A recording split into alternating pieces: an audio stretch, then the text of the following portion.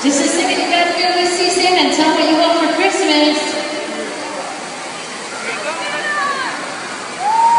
Everybody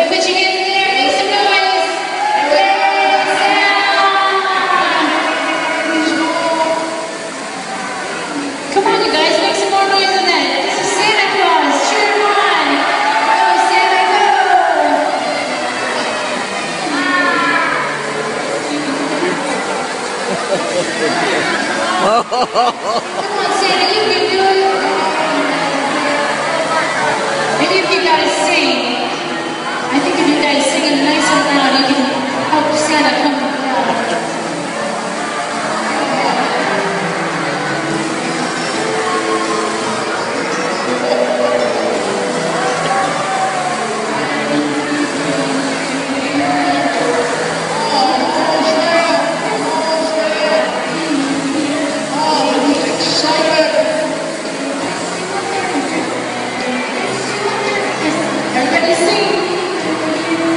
Can happen, the magic can